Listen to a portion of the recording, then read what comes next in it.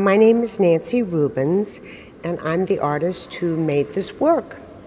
So, how did you go about collecting these pieces? Um, I had seen these cast, uh, the cast bronze animals at this guy's place who's been providing me with uh, uh, metal materials for a very long time. And I first saw the bronze pieces maybe 15 years ago, and I've been thinking about them for a long time.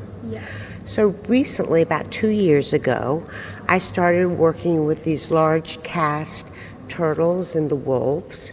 And then one day he came over and saw that I was working with the uh, turtles and wolves, and he said, You know, you want some pigs? I said, Sure. And he brought all these wonderful cast aluminum pigs over. And I started thinking about the pigs, and I thought, you know, these are the this old aluminum that's been melted down and used and reused and used again, and I'm just getting them fresh off the line. They, this is old melted aluminum that has been many, many things in the past. So I started really looking at them, and the wonderful thing about these elements is that they're tube shapes, mm-hmm. and a tube structurally is a very, very strong element. Mm-hmm. So with those tubes, I could build out these wonderful cantilevers coming out off these pieces. And they are structurally sound enough to uh, uh, work as structural elements in themselves. So I really loved working with that, them in those terms. Why animals? I, I looked up your other, I looked you up on YouTube yes. and everything, and I saw that you'd done kind of old carousel horses and things. Yes. It seems that you use a lot of animals in your work. Well, the old carousel horses and the little uh, children's springy playground equipment, I started working with a number of years ago, and that came out of, prior to that, I'd been using a lot of scrap airplane parts.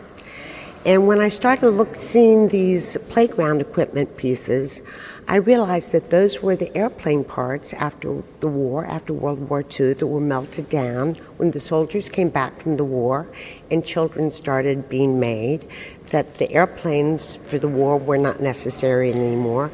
And so people melted down this aluminum and made these wonderful playground equipment for the kids. It was recycled, so, recycling. Yes, that's right. And when I got them, they were just ready to go down to the recycler again and be melted down and probably make these. Yeah. So, so recycling always comes back. It's like reincarnating yes, metal. It's reincarnating metal. Amazing. So when you were younger, did you used to kind of collect things? Was this always something you had an eye for? I wasn't so much a collector as I loved making things. Yeah. And so as I got older, I realized that I could collect all these wonderful things and hoard these things and use those as my materials to make things with. And what's your favorite animal? If you had to kind of pick one out of these, you had to be like, this is my spirit animal. Do you have a favorite? I love them all. You love them all? Yes. I love the crocodiles. I guess they're easy to kind of move into the you know sculpture as well. I love that you can see the inside of them and you see yeah. where the welds are and you see how it's made.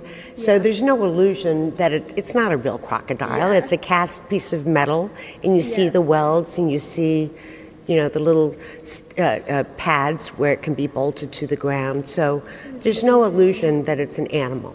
Yeah. Thank you so much. Thank you. It's brilliant.